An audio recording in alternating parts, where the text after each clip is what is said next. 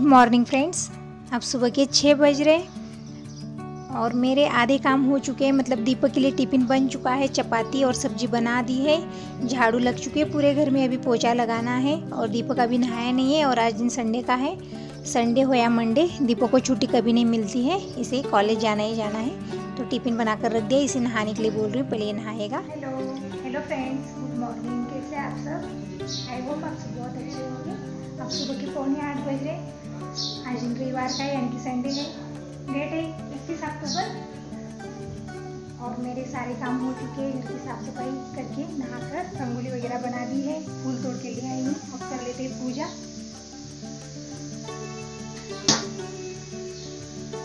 तो लाल कलर के फूल भी लग रहे तो लाल ये सब फूल तोड़ ले आई हूँ। अब पूजा कर लेते हैं।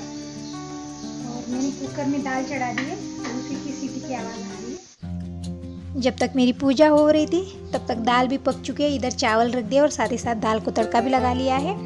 इस तरह से सुबह के टाइम साथ ही साथ काम कर लेती हूँ ताकि फटाफट से काम हो जाए।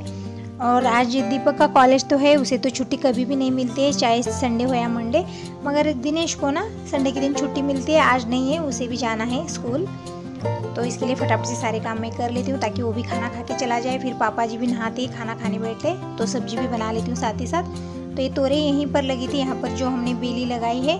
उसी में तोरई, लौकी, बहुत कुछ लग रहा है बहुत ज़्यादा लग रहा है अब इस वक्त तो। तोरई तो काफ़ी ज़्यादा रोज़ दस बारह तोरई निकल आती है। मैं गली में सबको बांट भी देती हूँ ताकि सब सब्ज़ी बनाकर खा सके और हम भी कितना खाएँ, रोज़ नहीं खाया जाता है कभी कभी बना लेती हूँ। तो आज मैं बना ले रही हूँ तोरी की सब्ज़ी। दाल तो बन चुकी है दिनेश के लिए। तो ये तोरी इस तरह से मैं बारीक एकदम काट ले काट लेती हूँ और बिना पानी की सब्ज़ी बना लेती हूँ। पानी नहीं डालती हूँ, तोरे में इस तोरे में बहुत ज़्यादा पानी रहता है तो पानी डालने की ज़रूरत नहीं है। बस इसे भाप में ही अच्छे से पक जाती है, उसी का पानी छूट जाता है बाद में। दाल चावल बन चुके हैं, अब फटाफट से सब्ज़ी भी बना लेते हैं और ज़्यादा कुछ नहीं डाल देती हूँ, बस सिंपल सी सब्ज़ी बनानी, बहुत ज़्यादा टेस्टी लगती है सब्ज़ी। बस एक चम्मच तेल ले लिया है। तेल जैसे गर्म हो गया, इसके अंदर राई और जीरा डाल दिया है। राई जीरा चटकने के बाद लहसुन लहसुन का कलर थोड़ा सा चेंज होने के बाद एक कटी तोरई डाल देनी है। और ये देखिए, इसमें से एक टुकड़ा ऐसे ही रह गया बिना कटे। इसे इस तरह से तोड़ के डाला है और ये तोरई ना बहुत टेस्टी लगती है और पकती भी बहुत जल्दी है। तो बस अब इसमें डालेंगे हम मसाले, लाल मिर्च पाउडर, हल्दी पाउडर, नमक, ये सब डाल के मिला के अच्छे से और ऑयल में थोड़ी देर इसी तरह से मिलाते रहेंगे और गैस एकदम धीमी रखेंगे। और इसे बिल्कुल पानी नहीं डालेंगे, इसके भाप में ही अच्छे से पक जाती है और नमक का भी पानी छूटता है और इस तोरे में काफ़ी ज़्यादा पानी रहता है, इसलिए हमें दूसरा पानी डालने की ज़रूरत है ही नहीं। और बस पाँच मिनट ढक कर रख देंगे तो ये सब्ज़ी बनकर रेडी हो जाएगी। यहाँ पर दिनेश नहाकर तैयार है, आज स्कूल यूनिफॉर्म नहीं पहना है, क्योंकि आज संडे का दिन है। तो ये कपड़े पहने कलरफुल और दाल चावल घी ये सब ले लेता है ये। इसके बिना इसका खाना अधूरा है। सब्ज़ी रोटी तो खाता ही नहीं। और ये हरा धनिया जो ऐसे ही रख देंगे तो ख़राब हो जाएगा। इसे तोड़ के रख देती हूँ डिब्बे में भरकर। तो मेरे किचन के सारे काम निपट चुके हैं। सबका खाना पीना होने के बाद मैं आ, आ चुकी हूँ छत पर। क्योंकि आज जल्दी से काम भी निपटा लिए मैंने। ताकि मैं जवार भी धुल सकूँ। जवार धुलनी है। जवार का आटा भी ख़त्म हो चुका है। तो थोड़ी सी ज़्यादा ही जवार धुल दे रही हूँ। इतनी ज़्यादा मैं पीसूँगी नहीं। बस धोकर रख देती हूँ। दो से तीन बार पीसना हो जाएगा। बीस पच्चीस किलो जवार ले लिए मैंने धोने के लिए। क्योंकि कभी कभी कामों में हो नहीं पाता है। कभी कभी धूप नहीं निकलती है। ऐसी प्रॉब्लम हो जाती है। इसीलिए आज अच्छी धूप भी है और काम भी जल्दी से निपट चुके हैं। किचन के अभी कपड़े धुलने हैं। बर्तन रखे हुए हैं। ये तो काम रहते ही है। मगर सबका खाना पीना जल्दी से हो चुका है सुबह वाला। फिर दोपहर के लंच में आ जाते तब तक मैं ये सारे काम कर लेती हूँ। तो इस तरह से जवार धुल कर इस पतला सा कपड़ा मैंने यहाँ पर बिछा दिया है, उसके ऊपर फैला देती हूँ, ताकि जल्दी से सूख जाए। और ना पंची कौवे बहुत ज़्यादा आते हैं, बहुत परेशान करते हैं। मतलब ये जवार ना खा ले तो अच्छी बात है, खाना तो है ही उन्हें, मगर फैला देते हैं, ऊपर ऐसे पंख फड़फड़ाते हैं, इसके ऊपर बैठ के तो सारी जवार पूरे छत पर फैल जाती है। तो उन्हें भी देखना है मुझे। और ये जवार धुल कर मैं आ चुकी हूँ नीचे। अब मुझे चकली बनानी है, दिवाली आई है तो दिवाली की तैयारी कर लेनी है। तो चकली वगैरह तो बनेगी, चकली बनेगी, लड्डू, गुजिया ये सब बनेगा। तो इसकी तैयारी तो पहले ही कर लेनी है तो इसके लिए मैंने यहाँ पर चार गिलास चावल ले लिए हैं, एक गिलास चना दाल ले ली है और पोहा भी डालने हैं, मगर पीसते समय डालेंगे पोहा। पोहा को धुलना नहीं है हमें। ये चावल और ये चना दाल धुलकर हम फैला देंगे। तो इसके लिए यहाँ पर चावल मैंने चार से पाँच बार अच्छे से धुल दे रही हूँ मैं इसे। और दाल भी धुलना है। धुल के हमें इसे छाँव में ही फैला देना है। धूप में नहीं डालना है। ताकि हमारी जो चकली है, एकदम क्रिस्पी बने।